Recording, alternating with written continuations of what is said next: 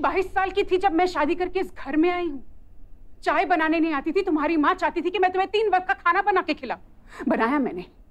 तुम्हारे बच्चे पैदा किए, उन्हें संभाला, तुम्हारा घर संभाला। No, Rohit you can't do this to me तुमने एक उम्र मेरे साथ बिताई है। वी आर मैरिड मैंने जब तुमसे शादी की थी ना तो तुम 25 साल के एक स्ट्रगलर थे। सेटल भी नहीं थे।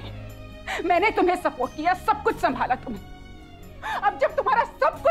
गया है तो तुम्हें उठ के किसी और से प्यार हो गया है हाँ?